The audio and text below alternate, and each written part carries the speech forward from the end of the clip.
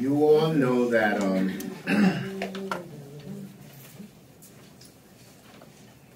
I always say that salvation is good.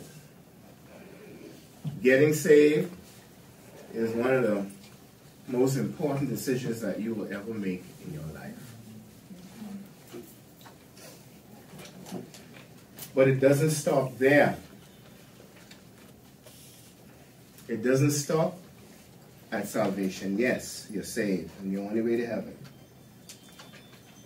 But what happens if after you get saved you live another 40, 50, 60 years?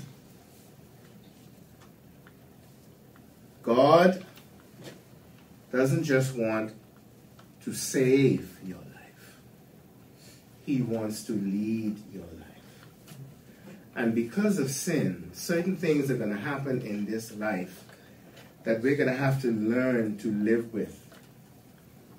Things that we do to ourselves, things that other people do to us. But because you are alive, you need to learn how to live and deal with circumstances and situations that you may face after salvation. And God wants us to live that the best way possible. There are things that He has put in His Word, principles that He wants us to live by, that will teach us how to go through life living in a sinful world. Amen? Amen. Now, the world has a way to handle life. But God has what you always hear me say a better way. And I'm constantly trying to preach and teach and push you in the ways that will help us to live God's best. Amen? Amen. Because at the end of the day, we have to realize this is Satan's realm. And he has a way of doing things here. And a lot of people who don't know God go through life, living life and handling their life and situations a certain way. But I'm here, and I feel as if God has put a, a, man, a mantle on my life to teach us to live it His way. And we will get through in a better position. Because at the end of the day, we ain't gonna miss stuff. And stuff ain't gonna miss us. We're not always gonna handle stuff the right way. And people ain't always gonna treat us the way we want to be treated. But in order to enjoy the blessings of the day, there's certain ways that He is teaching us how to live to get through these types of situations. Amen? Amen. Amen. So I'm constantly trying to encourage you to learn to live God's best. And that is by reading His Word. I'm starting and I want to um, lay a foundation today on a series that I want to start called Jesus Take the Wheel. Yeah, but if you drive yourself into a ditch, that ain't his. I'm just saying. Huh? I said, yeah, Jesus take the wheel, but if you drive yourself into a ditch, that's not his fault. Right. And that is why we are trying to see prevention is better than cure. That is why we're here now. He, he wants to teach you how to drive so you don't drive in the ditch. When you don't listen to him, then that's where you end up. Yeah. I'm here to say God is speaking and saying, do it my way, and you won't end up in that ditch. Right. Amen? Amen. Now, you all see the picture I put on the front of the bulletins. Yeah. Life has many roads. And as you can see, the roads ain't empty. There's plenty cars on the roads. Amen? Now, even if, because those of us that are reading God's Word, I don't want you to believe for one minute that we don't have struggles. It's hard enough when we follow God's Word, much less when we don't. Because following God's word, you still got to deal with self. You still have to make decisions. That's why the Bible says we need to die to self. Daily. How, how often? Daily. And for some of us, it got to be hourly. Amen. Amen? Because you got some people, they will try you. Amen? Amen. Now, like I say, I don't think we'll ever be perfect at it because life is a process and we will always be learning and growing. But I think as we grow in His Word, we get better. You understand what I'm saying? That we get better. So, I do believe that learning His way is better for us. And God speaks to us through His Word, and He wants to lead us. I firmly believe that if we don't read God's Word and find out the ways He wants to lead us, we won't actually know where to look for His leadership. Everybody knows who have a phone or a computer that they got these places called Facebook, TikTok, and a bunch of others. And there are millions of people on there giving advice. I right or wrong? A dime a dozen. And people following that advice. And you've heard me say before, it, it, it amuses me. Someone go in their bathroom, sit on the toilet, and say, don't do this, and then you follow it and make a life decision and do that. you laugh. You'll be surprised to know where they're sitting when they're writing these things. Amen? And a lot of times, you gotta understand, the, the stuff that they're writing, it don't sound bad. It sounds good. It sounds like it could be right. Amen? Amen. But God wants us to follow His word because it's His best. I always say, is there another way? Yeah, you can listen to them people on them things. But if you want to go through life the best way He thinks you should go through life, because at the end of the day, He is the creator Amen. and He knows what's best for His creation, then His way is the best way. I do believe that after salvation, God wants us to grow in the knowledge of Him and learn how to live, which is important, with each other. Amen? Amen. It's important. Because for His purpose to be fulfilled in our lives, we are going to have to deal with people. God's purpose is always about people. Are you all hearing me? It's always about people, reaching people, letting people know that the wages of sin is death, but the gift of God is, is, is eternal life. How to live His way. I want to start off by saying, making this statement. If I want God to protect me, I must be willing to let Him direct me. Oh. Write it down. Mm-hmm.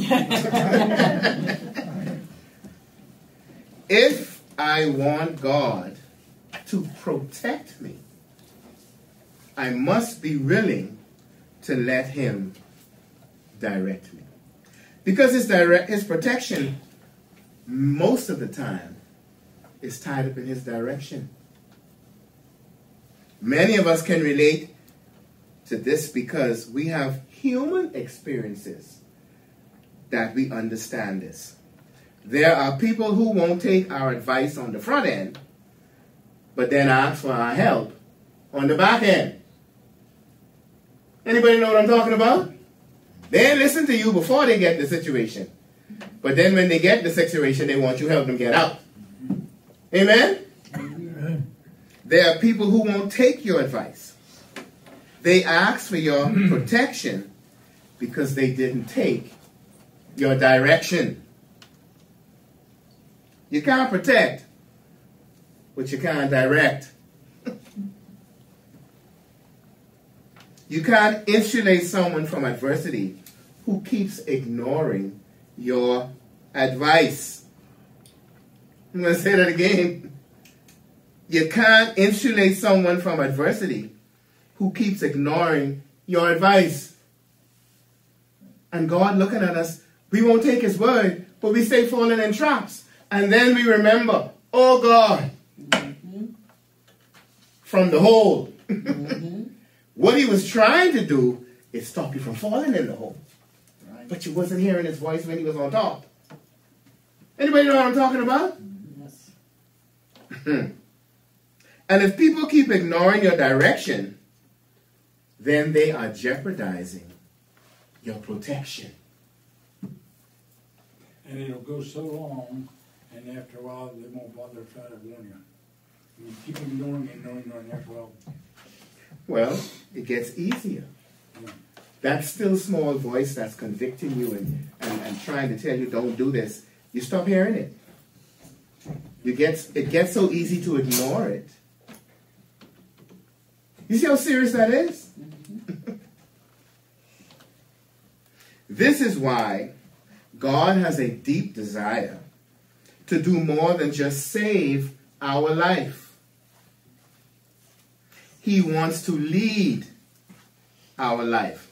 Not because it's in our in his best interest, but because it's in our best interest. He wants to lead it because he knows things that we don't know. Amen. Amen. He sees what we don't see. He can predict what we can't predict. And he knows, and this is what Mary was just saying, if we lead it, we will end up someplace. but if he leads it, we will end up in the right place. Are you all hearing me? He wants to take the wheel. He wants to take the wheel. David captured this perfectly in Psalms 23. When he said, The Lord is my shepherd. I shall not want. He makes me to lie down in green pastures. He leads me beside still waters. He restores my soul. He leads me in the paths of righteousness for his name's sake. Yea, though I walk through the valley of the shadow of death, I will fear no evil. For you are with me. Your rod and your staff, they comfort me. You prepare a table before me in the presence of my enemies. And you anoint my head with oil, and my cup runs over. Surely, surely, surely, not maybe, not possibly, but surely goodness and mercy will follow me. In other words, David says, if I follow him, I don't have to follow it. Hmm. It will follow me.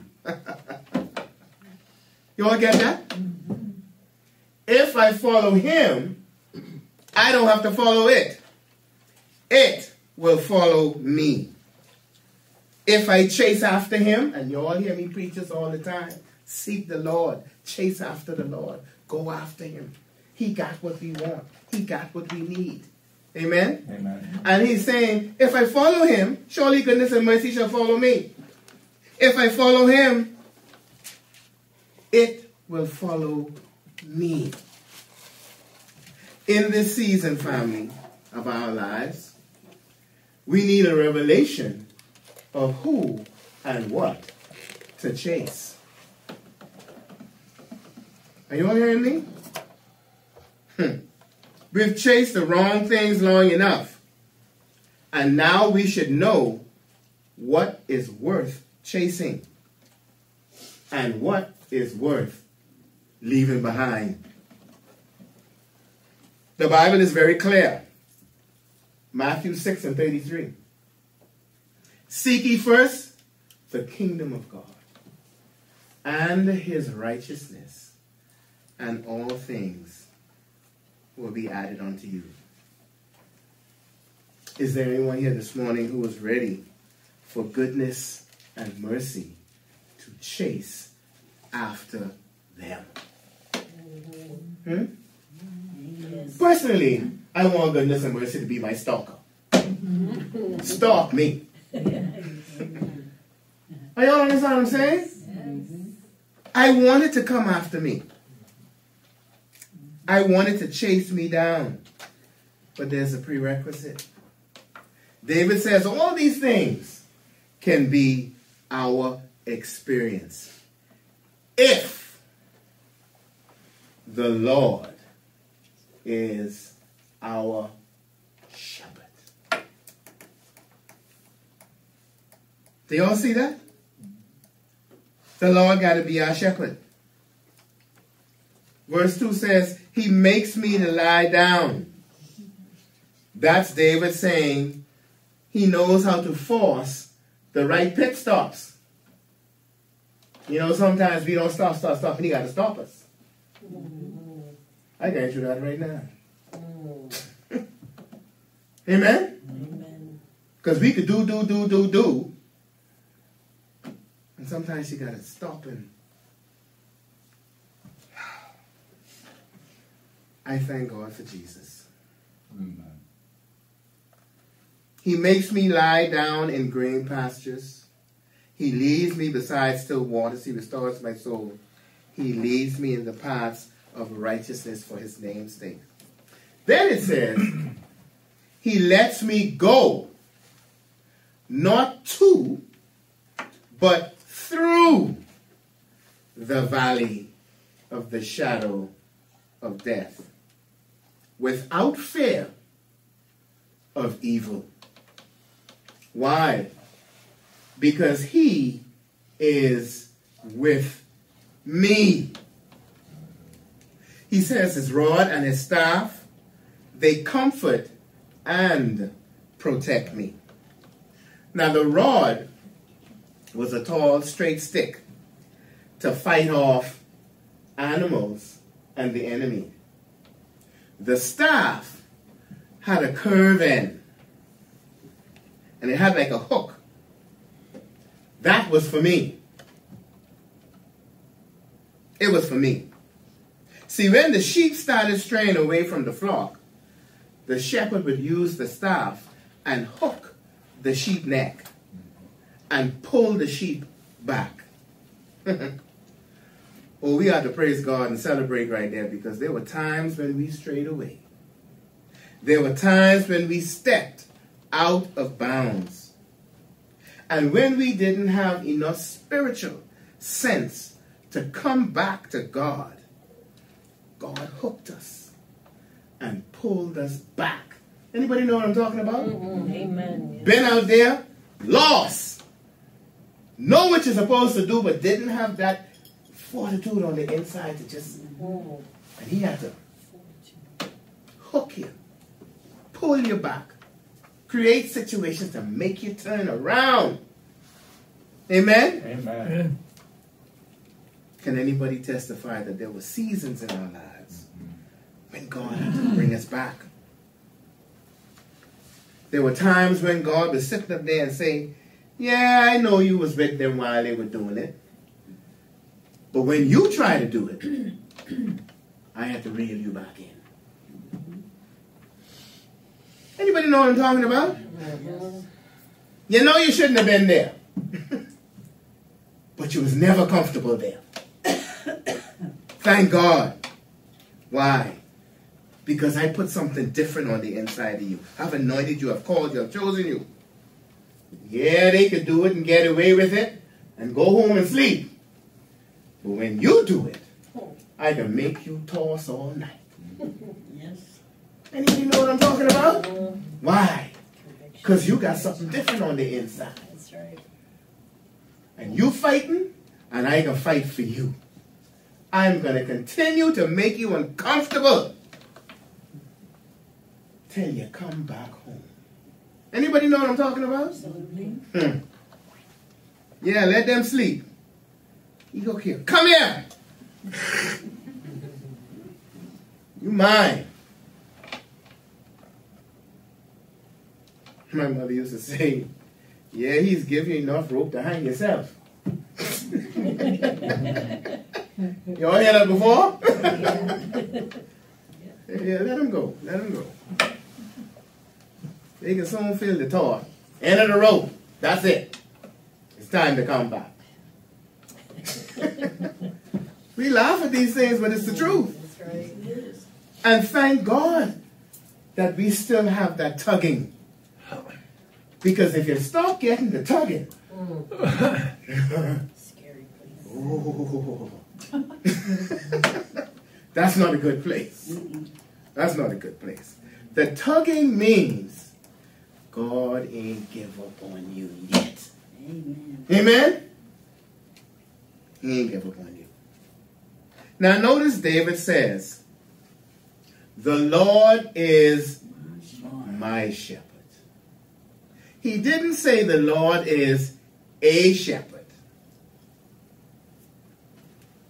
Because to be my shepherd means that I've made a decision to make him my shepherd, mine. To make him my shepherd means I've got to be willing to give up something that I want to keep. You know what is really weird in this world? And maturity brings you to a place to understand this. We fight to hold on to something that we really don't have. Listen to me now. He wants us to give up something that we're holding on to, but we really don't have it in the first place. Now we think we have it. And because we think we have it, it gives us a sense of peace. Because we think we are, we have it. Amen? Amen. So we're holding on to something, and because we think we have it, it gives us this peace. Because we think we're keeping it. It's keeping us. When the truth of the matter is, we have peace about an illusion. An illusion of possessing something we really don't even possess. And God is like, I need you to give this to me because you don't have it know how. And the illusion is we think we are in control. We're not in control. We think we're in control. We like to think, you know, we like to say, oh, I'm in control. We like to say that. We ain't in control. We live and move and have our being because of what? Christ. Because of Him. The alarm clock didn't wake us up this morning. He woke us up. Because there's plenty people who alarm clock ringing and they can't hear it. Dead. that alarm clock couldn't shake them out of that. If God wants to give you and bless you with another day, He lets you open your eyes. Are you hearing me, family? He is sovereign. You're not in control. He's in control. Now, we have influence. You may have influence. You may contribute to an outcome. But you really can't determine the outcome. You're not in control. You don't have the final say. You can control filling out the application correctly. You cannot control whether or not the person who's making the decision regarding your application looks at it objectively. Anybody know what I'm talking about? There's only so much we could do. Man make plans, but the Bible says the outcome is what? God's. always in God's hands. Hmm. See that picture? You could control that you stay on your side of the road, but you can't control that they stay on their side. All right or wrong? You see how we take these things for granted? And we jump in our cars and pull off like we so safe. huh? And all some fool got to do is drink that devil's water and start saying cross-eyed. he don't even know when he cross over on your side of the street. And you're doing everything right and he mash your car right up.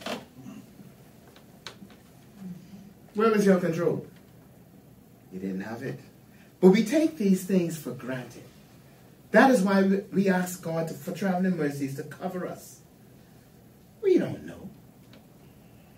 You get up on an on, on a ordinary day and go to work, you don't know you're coming back home. That's right. Parents, when I grew up in the home where your mo- my mommy would say, put on clean underwear, Yes. Make up your bed, you don't know how you're coming back home, and I don't want nobody walking here and think I don't make y'all clean the house and make it. But it's the truth. You don't know. We do take these things for granted. But we're not in control. And that's the illusion. And we want to hold on to that. Like it's all about us. Amen? Amen. You can control how you say something, when you say something, and even if you pray before you say something. But you cannot control a person's past, their traumas, or their filter, or their interpretive lenses, which all determine how they receive what you say. That is why you got to be careful what you put on paper or what you print or what you write down. Because you could write it down in one attitude and the person receive it in a whole different way. Same words. You can't control that. You write a simple message. In three, four days, that person even speak to you, you got to say, well, what happened? Why you? They're going to offended the second they read your text. It happens. We don't have control. So God is saying, give me what you think you have so I can give you what you really need. You think you've been in control? I've been in control. You think you're alive because you're in control? No, no, no. That's me. And you got to realize, God is saying, I've been blocking stuff and blessing you in ways you didn't even know. You've been praising me for what you know about. You ought to be praising me for what you don't know about. the things I've been keeping from you, keeping from stopping you, clearing your path. The stuff I stopped before it even got to you. The doors I closed. The many times I suffocated the plans of the enemy. The activities he had planned for you. And I snuffed it out. And you didn't even know. Because you're mine. And when you trust and obey, I will take care of you. Are you all hearing me? Yes. We want a savior, but we need a shepherd. I need to give control over. Instead of me leading and asking him to bless what I'm doing, I need to ask him and say, Lord, what are you doing? Because whatever you're doing, it's already blessed. Amen? I want you to know this morning, God wants to be our shepherd. And he's anticipating an opportunity to be our shepherd. He wants that opportunity to be our shepherd. We need him to be our shepherd. But it is one thing to know that we need him to lead us. It's another thing to know how he wants to do it. I won't know where to look for his leadership if I don't follow him. And if I don't know how to look for his leadership, where to look for his leadership, I will be looking for leadership in all the wrong places. I know everybody in this room know what it is to follow something that was wrong. Because when you started following that thing, you thought it was right. Otherwise, you wouldn't have gone there. I read it wrong. Who knows something is wrong and then still follow it? Well, you got some idiots that do that, okay? right? but the majority of people, we don't know it up front that is wrong and then deliberately follow that. Amen? Amen. We don't do it. Many people look for leadership in the wrong places. It has been my experience as a pastor that many people who have gone through failures and missteps have actually blamed it on the Lord. What do I mean by that? Many people will say, Well, God told me to do this. God told me to do that. God led me in this direction. And then they do the thing, they go in that direction, and it doesn't work. Amen? Amen. So who they blame? They blame God.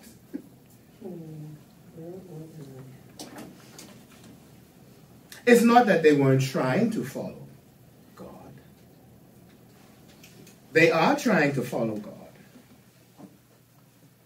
Because most of us have been taught, excuse me, God is the one to follow. The problem is, they just have not been taught how to follow. So many people are operating with the sin of presumption and the sin of assumption and assuming they understand the ways he wants to lead. You can't assume that you understand the way God wants to lead if you're not letting him tell you through his books. Amen. Amen? Amen. Amen. Let me tell you a huge problem that many people have.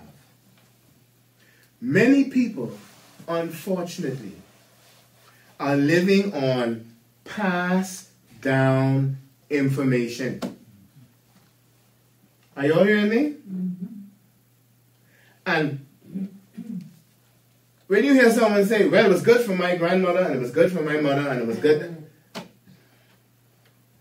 Okay, that's very, very good. You got to understand, a lot of those people did the best that they knew how.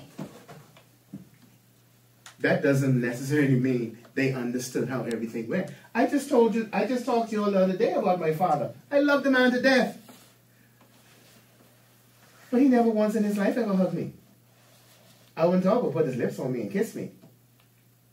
Does that mean he was a bad person? No. But does that mean if I have a son, I shouldn't kiss my son? No. You can't live on past that information. Just because daddy didn't do it don't mean I shouldn't do it. Are you all hearing me? And a lot of people live their lives on what used to happen before. And unfortunately, a lot of the sta- things is tradition, mm. and some of it is cultural. In our culture, we do this. So since they've been doing it for the last 50 years, I think it's good enough for me to do now. Well, you're getting quiet now. This is a serious thing. And when you do that, you stay crippled.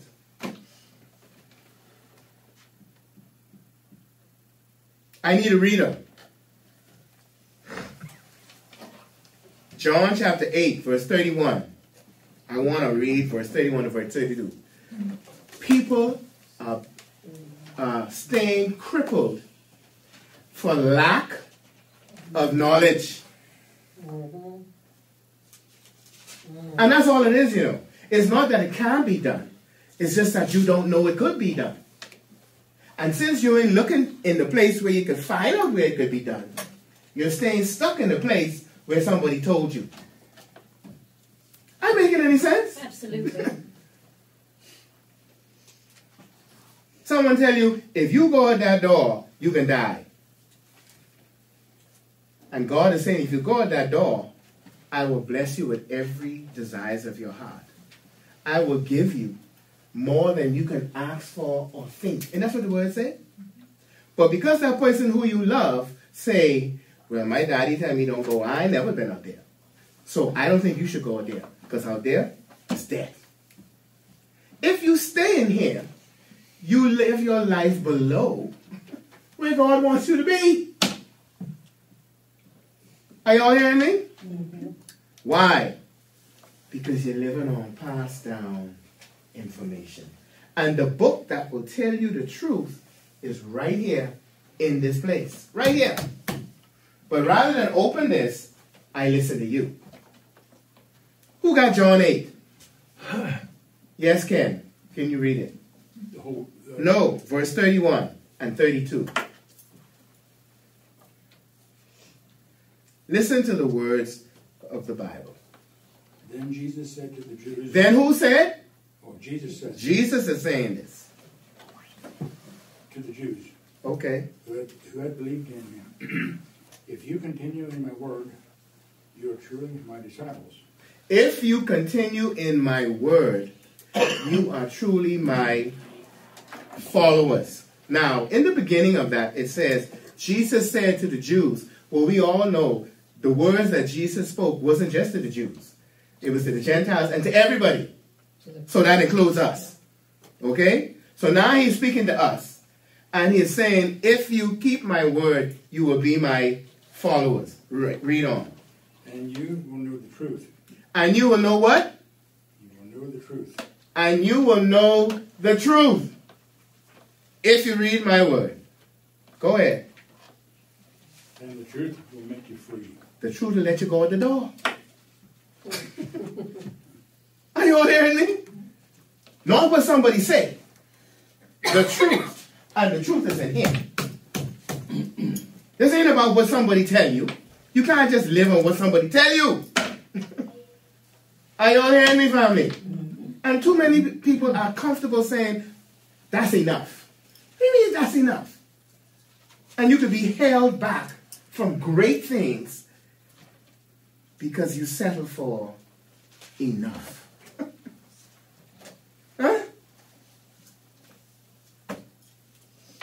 The truth will set you free. The truth. We stay crippled, and there are people enabling the crippled. and they enable you by only telling you what they know. And they have only gone so far. And a lot of people only can take you where they've been. You can't go beyond that. And since they don't want to go beyond that, you stay there. You stay right where they are. Serious thing, family. Crippled. Because we're not motivated enough to do what the Bible says. The Bible says, Take my yoke, yoke up with me upon you. Because my yoke is easy. My burden is light. He says, Learn of me. Learn of me.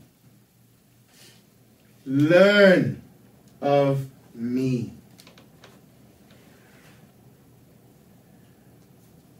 I want to use as a case study for this series Jesus Take the Wheel, and the scripture is going to be taken from Acts chapter 8. Let's turn there. And I'm going to read a few verses, starting at the 26th verse.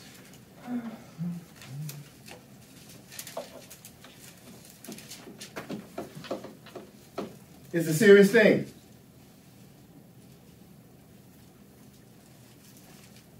Acts chapter 8. I'm reading from verse 26. As for Philip,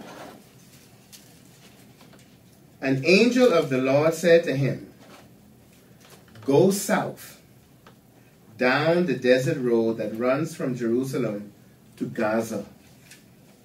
So he started out and he met the treasurer of Ethiopia, a eunuch of great authority, under the Kandake, the queen of Ethiopia. The eunuch had gone to Jerusalem to worship, and he was now returning. Seated in his carriage, he was reading aloud from the book of the prophet of Isaiah. The Holy Spirit said to Philip, Go over and walk alongside the carriage. Philip ran over and heard the man reading from the prophet Isaiah. Philip asked, Do you understand what you are reading? The man replied, How can I understand unless someone instructs me? And he then, he then urged Philip to come up into the carriage and sit with him. I'm going to stop there at that verse. How can I understand unless someone instructs me? The few verses that we're going to study next week just doesn't show us that the Holy Spirit wants to lead, but it also shows us how he wants to lead. Now, the book of Acts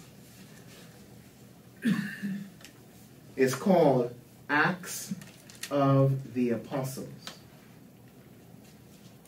It is the acts of the Holy Spirit working through the apostles.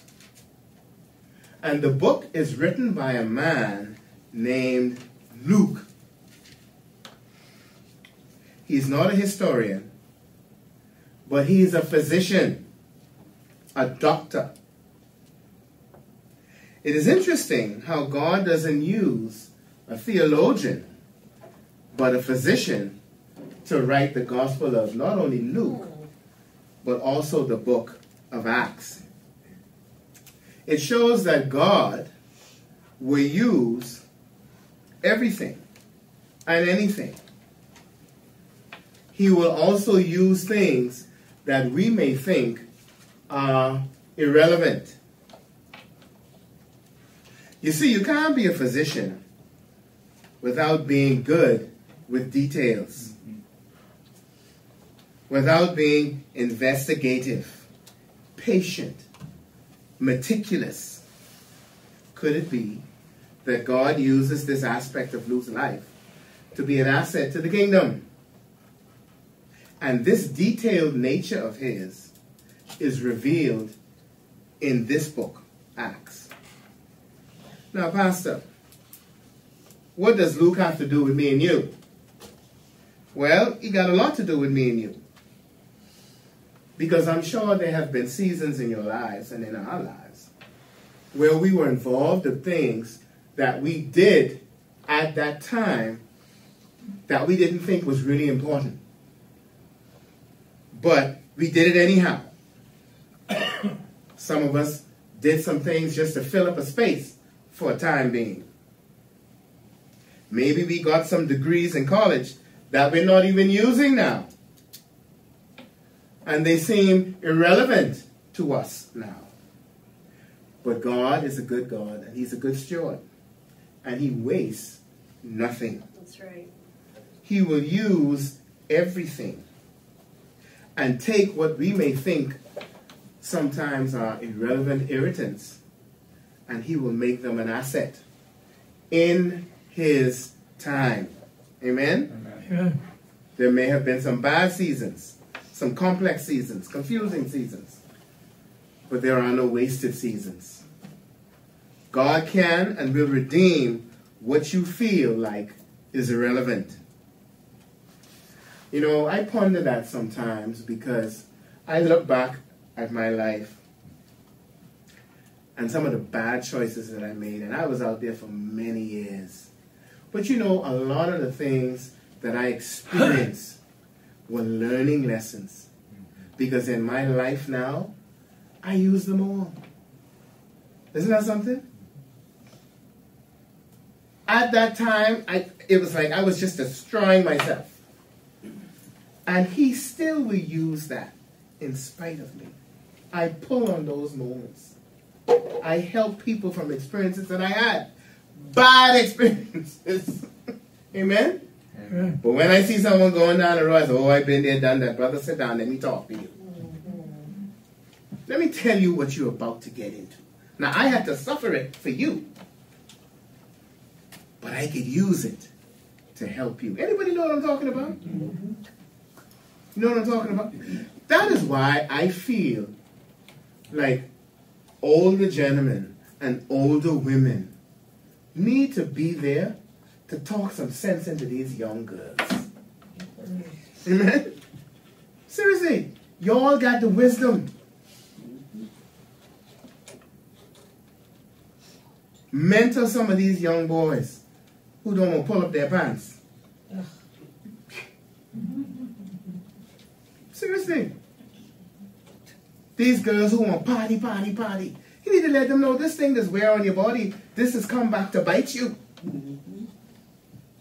Putting all kind of stuff in you. Two, three, four o'clock. 10, 15, 16 partners. Then you suddenly in your 30s, you're ready, you want to settle down. You find a man who want to be good to you. And your body can't carry a baby. Are you all hearing me? This is a serious thing. You done destroy it. But some of us who've been out there, been through some really bad times, can sit them down and say, look, you're going the wrong way. This can hurt you. And this stuff comes back to bite you. Hard. Are y'all hearing me, family? It's a serious thing. God can redeem what feels like irrelevant. He uses everything. You may not be using that degree at the moment, but I can tell you one thing you're using what the degree taught you. You're using the character trait of resilience. Because many times when you hang it out in school, you learn that big time. Amen? Amen. That degree taught you something. So Luke writes here in Acts 8 about this incident about a gentleman named Philip and his exchange with this Ethiopian eunuch. Philip has just finished ministry in Samaria, and God leads him down south from Jerusalem to Gaza. This story is going to teach us how the Holy Spirit, because we just read, the Holy Spirit said, go that way. When we don't let Jesus take the wheel and guide us, we lose big. Are you hearing me? We lose big. Because when we don't let the Holy Spirit and, and being obedient guide us, lead us, we miss life changing stuff. And we can see that with this story. Had he been disobedient and not go, he met this man. And what's important, the man was open to hear how he could teach him and understand some things. But that wasn't the big thing. God is so big. Do you all know who that man was? Did y'all read who that man was? Read it. Eunuch. Huh? He was a eunuch. Oh, he was more than a eunuch. Listen, I think the eunuchs served in the king's court or something, or he was the treasurer to the queen. Times when you don't listen to God, your path don't cross the place and who He put in your way for you. Huh? Someone you would never have met had you been disobedient and not gone. Now, many of us will say, wait a minute, I could go this way and it'll be shorter. Why my God won't send me? Do you understand what I'm saying? We ready to question immediately. Why? Because we always got to be in control, and we ain't in control. Are you all hearing me? We always need this explanation. Why? Well, there's a better route over there, and and then we live in this nuking it generation. Everything quick, quick, quick, quick, fast, and hurry. And anything was saying to be go- going slow, we done mad. I know somebody who went away this week, and they were going away, and they jumped, they sit down on the couch and start going up their phone because you could go on the phone, and somehow you can pre-check and don't go through TSA something, something, and you could bypass. Y'all know who's traveling. Y'all know what I'm talking about, right? You ain't got to get on that line where this look like a, a snake. and there's another line over there, and you see them people, they didn't pre whatever. You understand what I'm saying? Because they ain't got the patience. The second they look at that line, their blood pressure goes sky high. Amen? Amen. But sometimes, when God say go that route, He got a plan. Amen? He has a plan. So we're going to talk about that a little bit next week with this story. You all can go home and read about it. Read chapter 8 and see how the Holy Spirit leads and teaches us how to follow. Amen? Put your hands together and let's give God some praise. We need to understand that God is sovereign. I remember I did a sermon on the sovereignty of God. Family, don't let the enemy fool you. Excuse me. We ain't in control. Excuse me. We are not in control. You can carry on all you like. God is in control. And the sooner we learn that, the better for us. Amen? Amen. Let Jesus take the wheel. Let him lead. Because when we don't, we miss life changing stuff. Amen? Amen. Please come back next week and let's go through this so we can learn how to let the Holy Spirit lead us. That is the best way for us. Thank you so much for coming. You are dismissed.